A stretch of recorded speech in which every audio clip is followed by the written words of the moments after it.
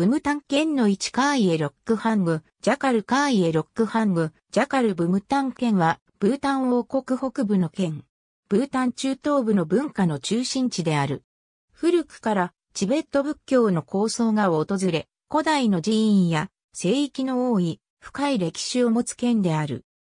裏、チュメイ、タング、ブムタンの4つの谷からなるが、まとめてブムタン谷とみなすこともある。ブムタンは美しい平野を意味する。ジャンバイラカン建造後に名付けられたと言われる。蕎麦や乳製品、蜂蜜、リンゴ、芋、米、綿製品を生産している。小麦粉や蕎麦の生産量が多い。ブムタン県で話される言葉は、ブムタン語として知られる。チベットビルマ語派に属し、ブータンの国語のゾンカ語に近い。ゾンカ語話者は、ブムタン語を理解できる。4つある谷はそれぞれ方言を持ち、南部の県属地域は、県語を話す。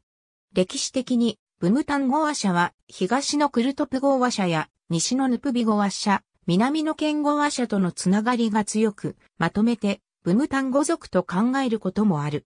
南チベット語族のブロッカトゥ語は危機に瀕する言語で、ブムタンダニのドゥル村で約300人が話すのみである。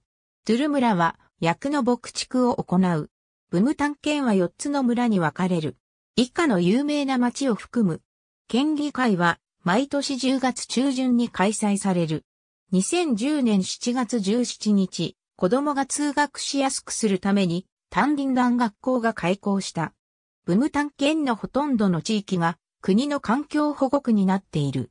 北側の2、3の地域は、湾畜100年国立公園に属しており、緑の回廊に囲まれている。県南部は、フルムセングラ国立公園に属する。ブム探検は、オグロズルの重要な投影地である。